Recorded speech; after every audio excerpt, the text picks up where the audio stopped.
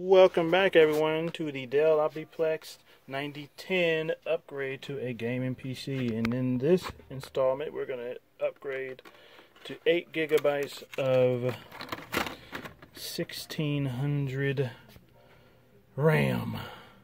And they're of different brands but that does not matter. And a crucial 4 gigabyte stick. They're both 4 gigabyte sticks and we're going to install them into those two empty DIMM slots down there and we're going to do that. First we're going to install this crucial 4 gigabyte stick and we're going to put it down in here. So first off there are these white latches or in this case a black one.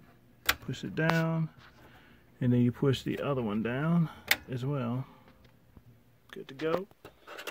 Then we slide it in. Whoops, I had it on the wrong side turn it this way.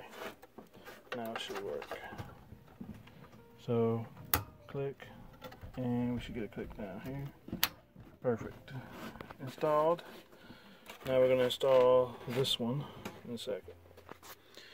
And my mistake, this isn't a Lenovo RAM, it is Samsung 4 gigabyte RAM. I guess they made it. But we're going to turn it around, install it like so. Not gonna mess up this time. So we're gonna open up the latches and we're gonna install it down in there like so. Should be simple, which it is. I just had it the wrong way first, but one and two both of the RAM sticks are installed. We should now have 16 gigabytes of RAM into this beast of a machine. Thanks for watching and stay tuned. Actually, this completes the upgrade of this Dell Optiplex 9010 model computer. We upgraded the power supply. We added a new 6 terabyte hard drive and a 500 S uh, gigabyte SD SSD.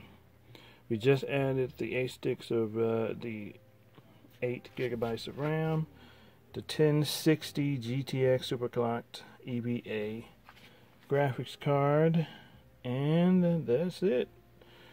The upgrade of the machine is complete. Stay tuned for benchmark videos in the future. Thanks for watching.